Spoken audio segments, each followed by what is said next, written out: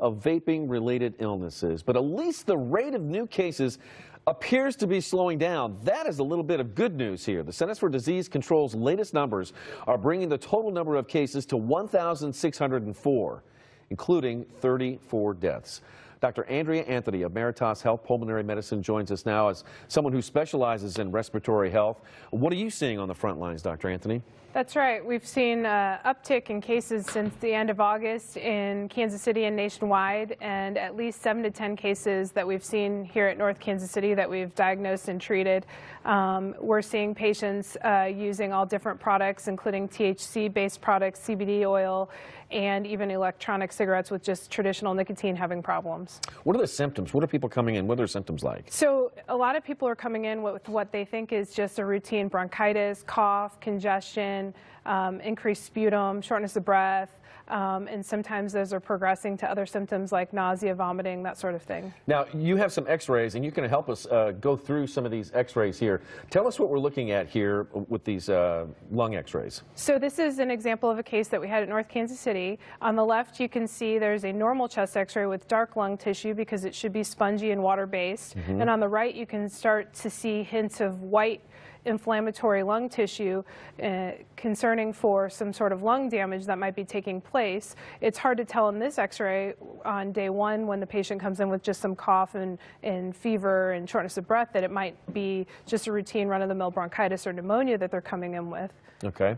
Let's look at another x-ray here, and this is, what, just a couple of days later? Yeah, just a couple days later, the patient returned to the ER when they weren't better. There's a rapid progression. On the left is day three, and by one week into the illness, um, on the right is day seven, and you can see the white material or inflammatory lung changes are progressing pretty quickly, causing the patient to be um, short of breath and have low oxygen levels, which wow. is concerning and what um, got the patient admitted to the hospital. Okay. Help us understand the CT scan, too. This is so uh, this, CT, uh, the yeah. brain, right?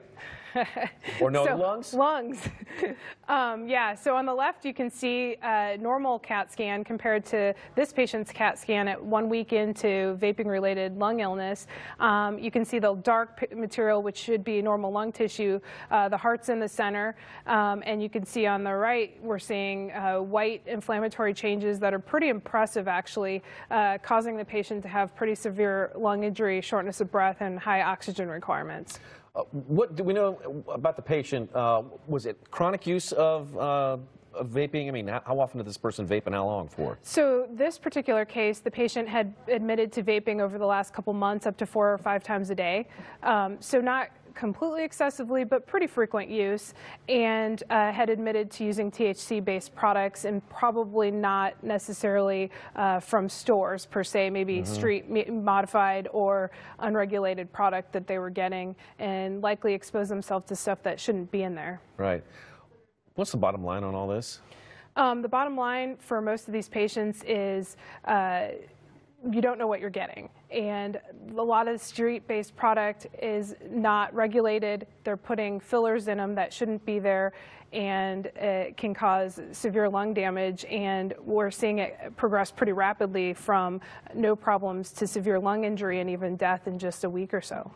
Yeah, and the levels of nicotine in some of these uh, are, are, highly addictive for those yes. who use it. And it's much more readily available than it is in cigarettes, so it's actually more addictive than cigarettes have been. Oh. All right. Well, thank you, Dr. Anthony. Sure. Good to see you.